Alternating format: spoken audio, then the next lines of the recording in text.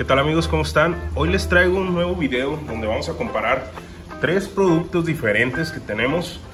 Este, uno que no han visto, que va a ser algo interesante, y tengo estas tres tejas donde lo vamos a probar.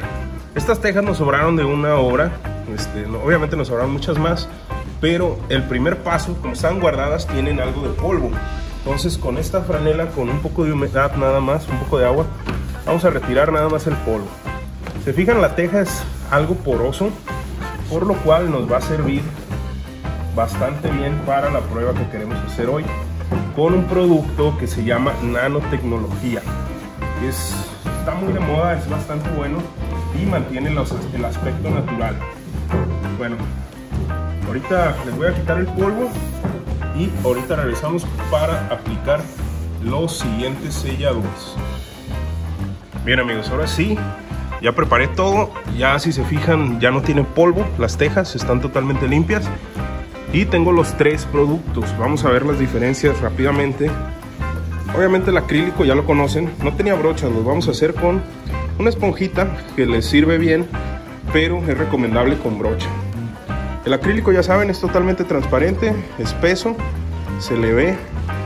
El base agua es un sellador blancoso, lechoso, que también cuando seca es transparente. Y la nanotecnología que es esta, es como un agua, una agüita.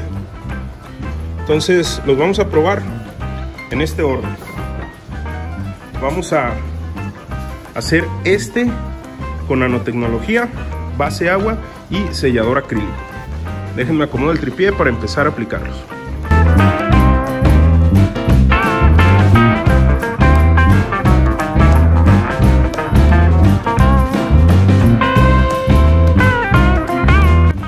Pueden ver ya quedó aplicado los tres.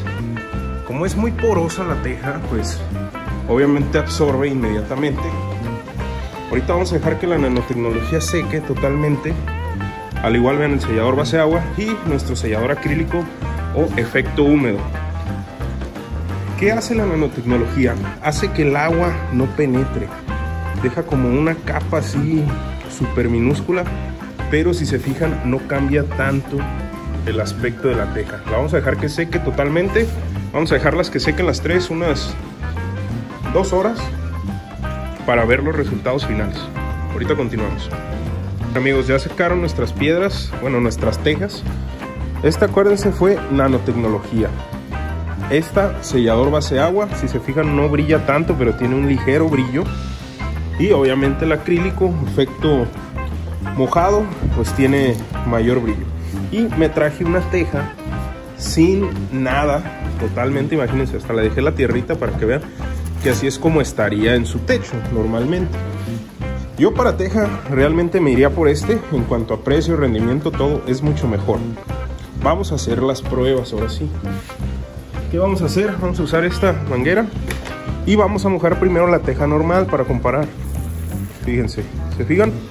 cómo cambia inmediatamente el color y empieza a absorber agua. La vamos a dejar así un momento. Ahora nos vamos con la nanotecnología. La mojamos.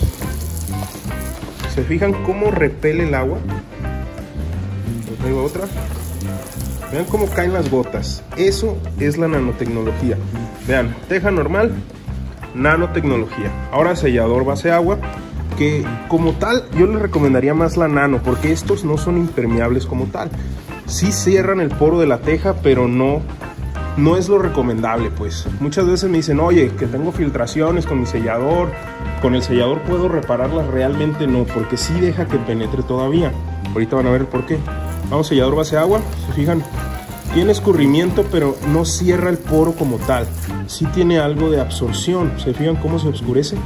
Y el acrílico, se fijan, es más parecido a la nano, pero sí suele tener también absorción porque no sella el microporo.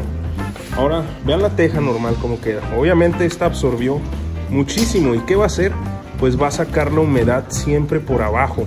A lo mejor alcanzaron a absorber, pero miren, la nano totalmente seca. Y vean cómo escurre el agua que no penetra.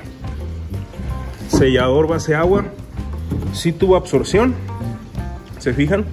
Pero también protege, pero sí hay absorción porque no es un producto que selle el poro pequeño. Si lo analizáramos con mi microscopio tal vez podríamos verlo. Y sellador base solvente, menos absorción, pero el ganador de esta partida, vean cómo seca, vean la diferencia. Y por ejemplo esta, vean cómo se ve todavía, que está apenas secando. Vamos a hacer una última prueba para que lo vean. Vamos a mojar la teja normal que no tiene absolutamente ningún recubrimiento. Vean cómo absorbe como una esponja. Nanotecnología. Vean. ¿Se fijan? Es una absorción prácticamente nula, mínima. Obviamente si le dan más capas, aquí le dimos una leve. Fíjense, vean. Vean cómo podemos jugar con el agua. ¿Se fijan? Vean esa gota de agua que no absorbió. Entonces, bueno, espero les haya gustado este video. Si les gustó que probemos estos tres productos con más tipos de piedras, con cantera, por ejemplo, que me preguntan mucho, con concreto, ¿qué más les gustaría ver? Bueno, nos vemos hasta el próximo video, que estén muy bien y hasta la próxima. Acuérdense dar like, suscribir, compartir, dejen sus comentarios, qué les pareció, si no les gustó, todos los comentarios son bienvenidos. Que estén muy bien y adiós.